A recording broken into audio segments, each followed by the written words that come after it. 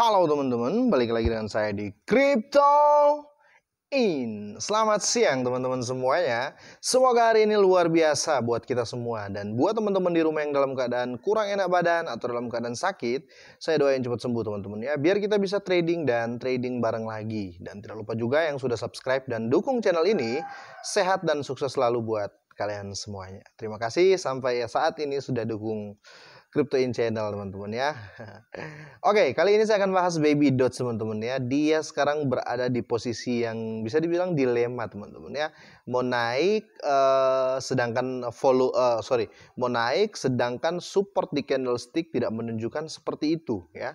Sedangkan mau turun dihalangi oleh volume yang mulai meningkat dan tentunya holder teman-teman ya. Jadi menurut saya di sini masih titik aman ya, tapi rawan-rawan gimana gitu. Tapi kita akan uh, bahas langsung teman-teman ya.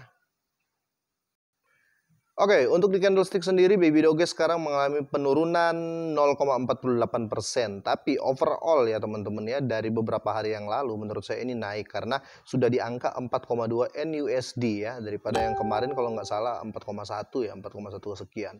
Dan di sini pasar uh, kelihatan ya teman-teman ya memang sangat uh, bisa dibilang dilema lah ya seperti yang saya bilang tadi karena volumenya belum begitu kuat teman-teman ya. Volumenya belum begitu kuat, tetapi ini bukan berarti uh, akan terus seperti ini, tidak seperti itu teman-teman ya. Karena volume itu setiap hari itu uh, terupdate ya, terupdate karena terjadi jual uh, jual beli, trade trade trading ya, sorry jual beli atau trading di dalam uh, baby dots ini teman-teman.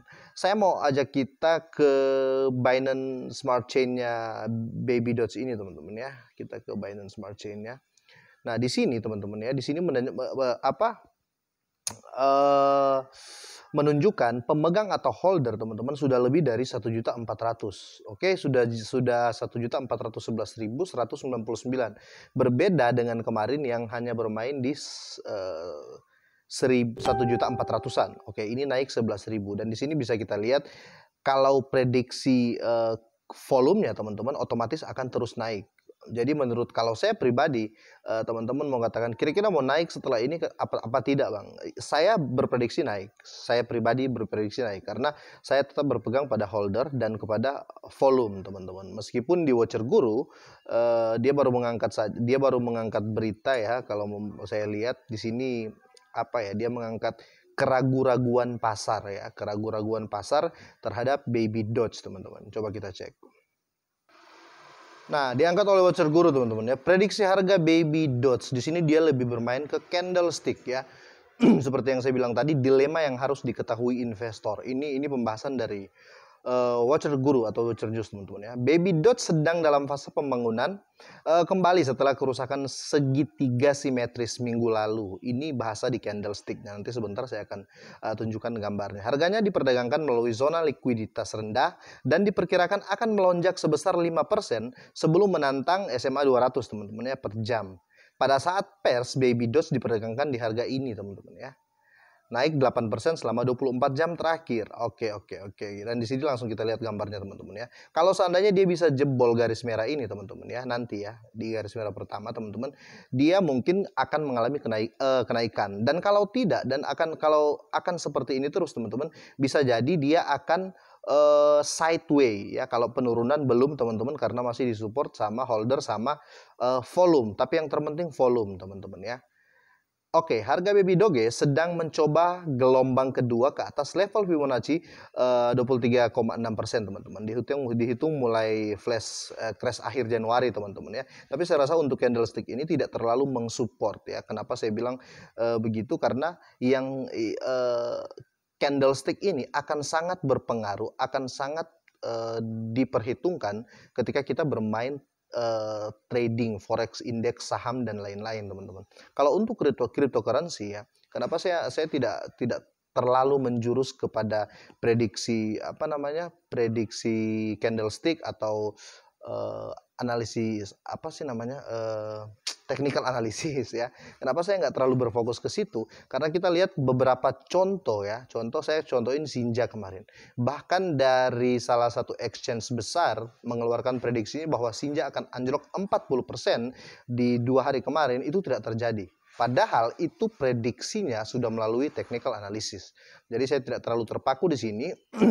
saya hanya terpaku kepada daya beli dan daya jualnya teman-teman. Kalau baby dog ya teman-teman, untuk saat ini masih daya daya beli lebih tinggi ya teman-teman.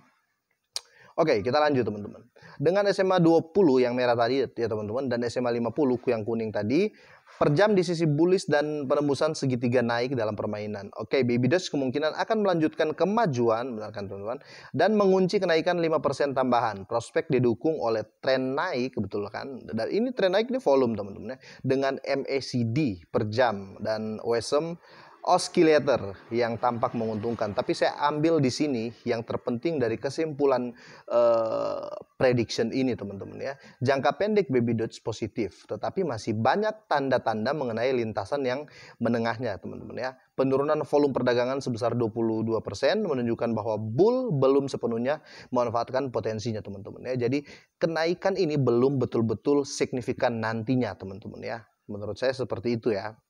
Dan di sini uh, dibilang juga sama Watcher Guru ini dari prediksi analisa mereka ini belum apa ya, belum tajam lah ya, belum meyakinkan bullishnya atau kenaikannya teman-teman ya.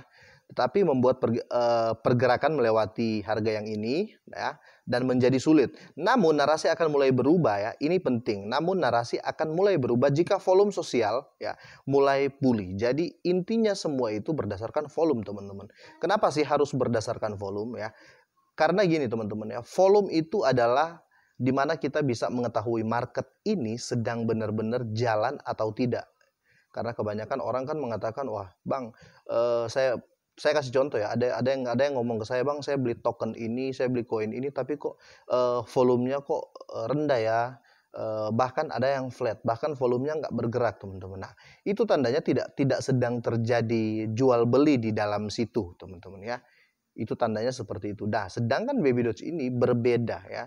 Dia volumenya bagus, eh, orang yang masuk untuk ngehold atau bisa dibilang holder makin banyak ya, makin bertambah.